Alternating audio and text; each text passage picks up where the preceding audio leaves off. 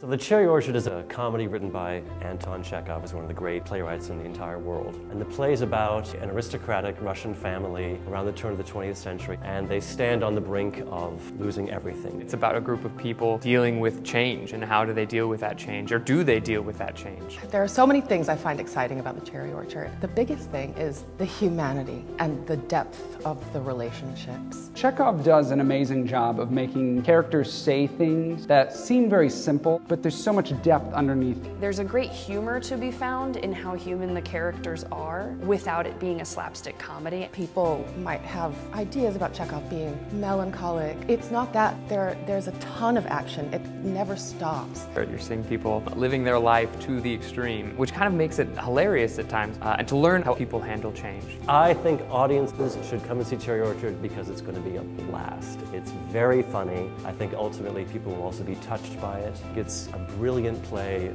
brilliantly directed, brilliantly executed, beautifully designed. It's top-notch theater and people have a great time.